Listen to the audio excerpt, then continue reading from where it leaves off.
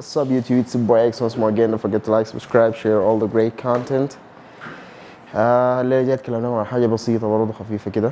عن التصوير بتاع ال- الفيديو تحديدا فيديو slow motion لما انت تيجي تصور slow motion أو تبغى تبطئ الفيديو ده. لازم انت تصور الفريمات بتاعتك من 60 انت طالع. من 30 ممكن لكن من 30 ما بتستحمل slow motion تقيل. يعني انت كل ما زدت الفريمات كل ما خليت ال slow motion يبقى اظبط أنعم. أريح للعين بتاعت المشاهد. فأنت لاحظ للفريمات اللي أنت بتختارها لما أنت تيجي تخط في بالك إنك بعدين داير تمنتج على إنه يكون في slow motion هنا.